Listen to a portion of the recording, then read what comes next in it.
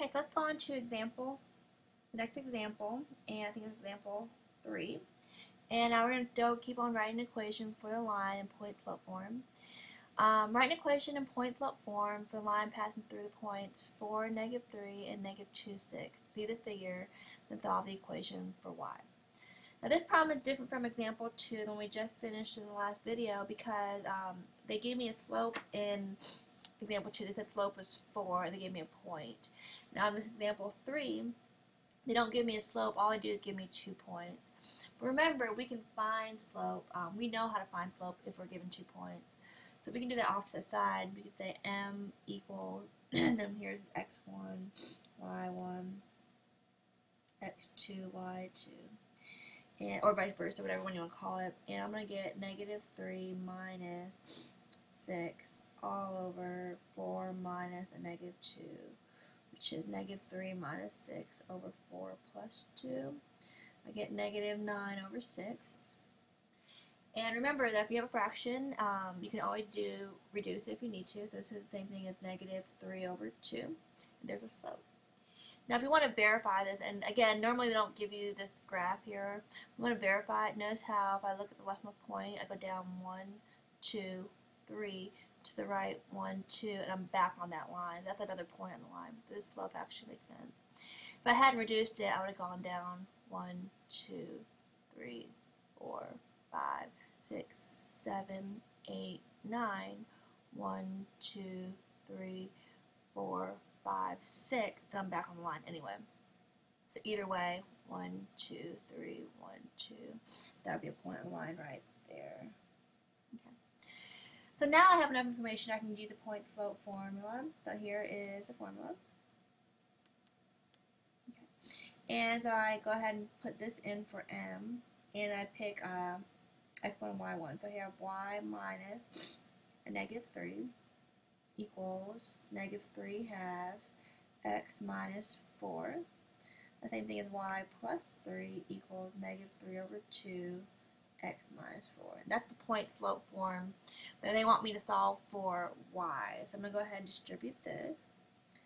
So I get y plus 3 equals negative 3 over 2x. This gives me plus because the negative times the negative is positive. And you can use your um, ABC button on your calculator, negative 3, ABC 2 times um, negative 4, or um, 3 half times 4 if you already know it's positive. Um, but that should give you 6. Oh, not 6, but um, 6. So here I get um, 12 over 2, like a 6 there. Okay. And then I'm going to go ahead and subtract 3 from both sides. So I get y equals negative 3 over 2x plus 3. There's my equation solved for y.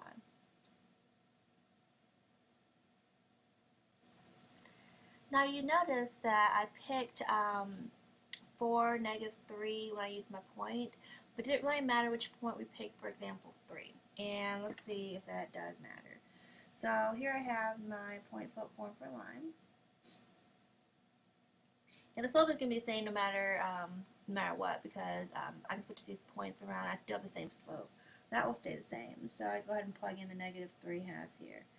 The question is, does it matter which point I pick? And I'm going to go ahead and pick the other point. So I'm going to use this point instead. Okay, so I have y minus 6 and then x minus a negative 2. That gives me y minus 6 equals negative 3 half x plus 2.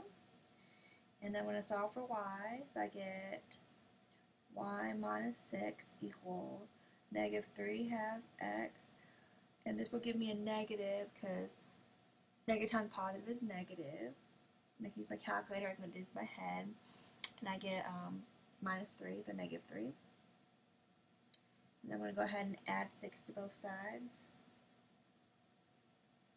So I get y equals negative 3 half x plus 3. So it looks like a same um, equation for y, no matter which point I use, so it did not matter. So um, just pick one point, and if you really want to, you can do the other point. Okay. Now, um, I kind of allude to this. The slope-intercept form of an equation of a line is y equals mx plus b. m represents your slope, and b represents your y-intercept, which is the point 0, comma b. Remember, all y-intercepts have 0 for the x value. If I want to graph the linear function f of x equals negative 3 half x plus 2, remember that same thing as y equals negative 3 over 2x plus 2. The same thing. Okay. This is going to be your slope. So slope is negative 3 over 2. And The y-intercept is 2 or 0, 2. Okay. The first, we're going to graph the y-intercept or plot the y-intercept.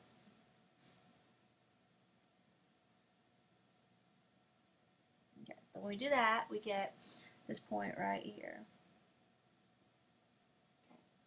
Then we're going to move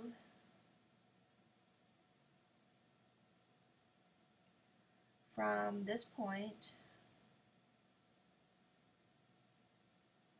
by the slope. Remember, slope tells me how to get to another point on the line. So this tells me down 3 to the right 2. So from here, I'm going to go down 1, 2, 3, and to the right 2, 1, 2. That point would be right there. So I had a point right there. And again, down one, two, three, to the right 2. And you keep on going down one, two, three, to the right 2, will be another point right there. Okay, so that would be the line we're graphing that linear function. Again, any ruler, so your line will be a little better looking than mine. Okay, so here I want you to graph uh, y equals negative 4 in the rectangle coordinate system. And notice how there's no x in here. So if I were to make a table,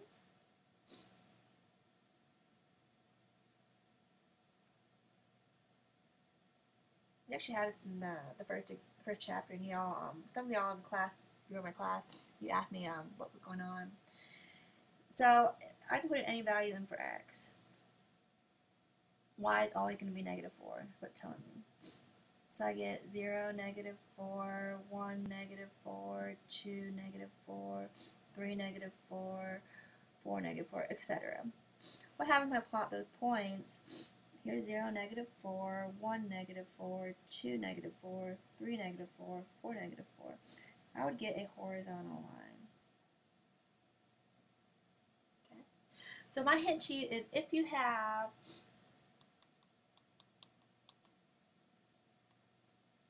only one variable, that's a little hint, and I'll fill that out in a second.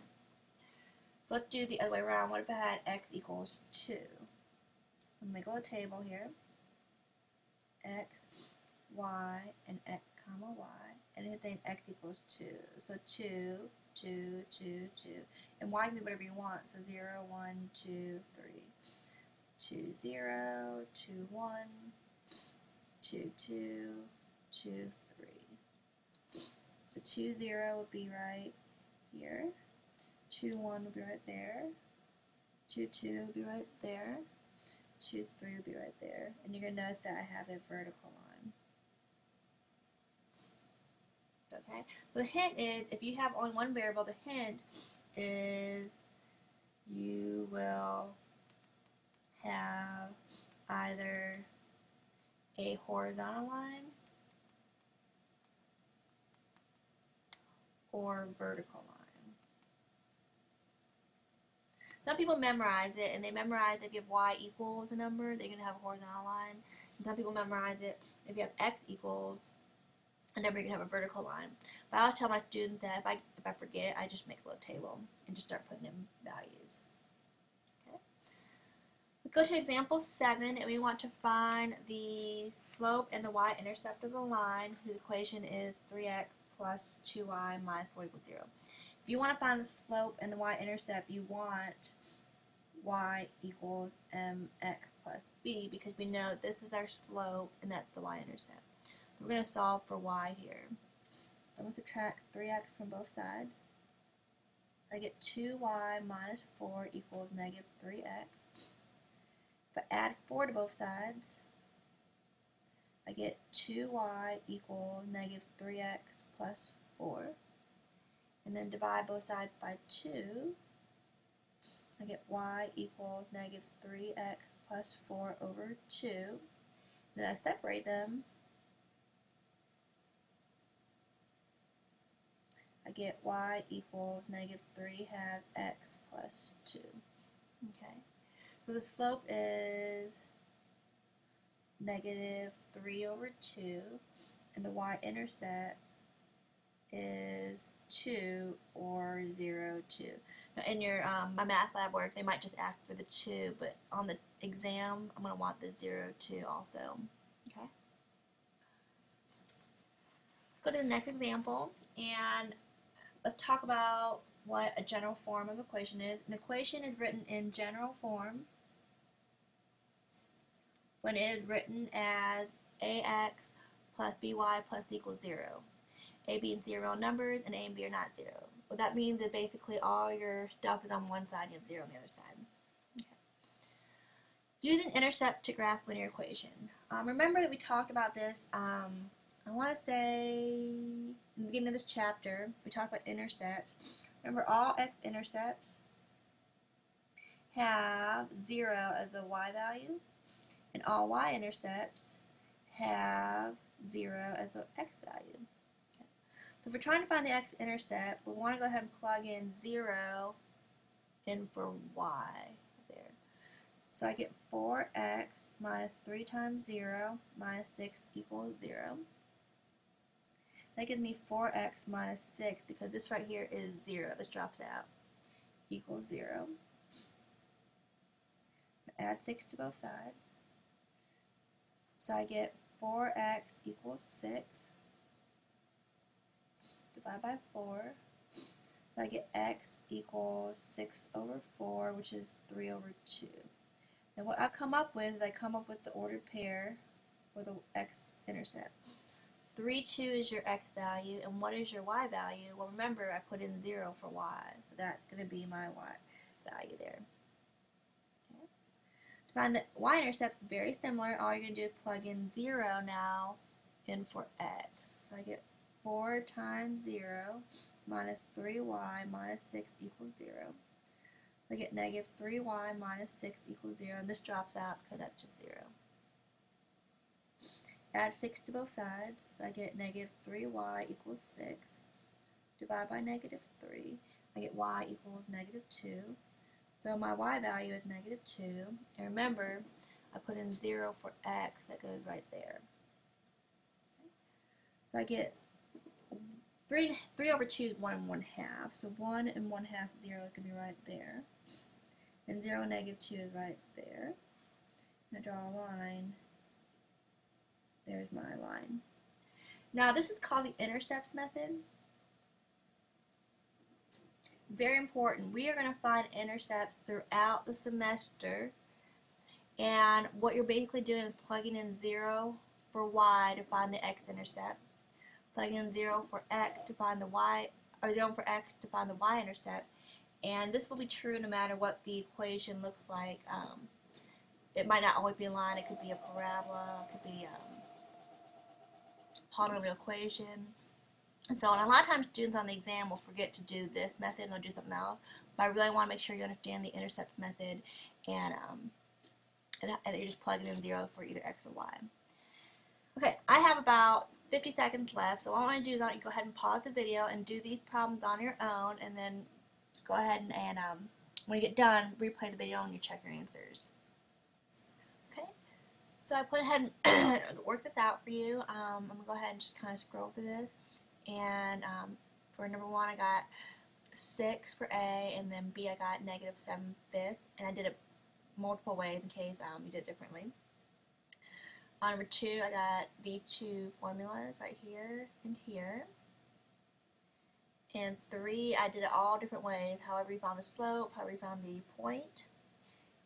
And number 4 and 5 and 6 and 7. So if you need to pause the video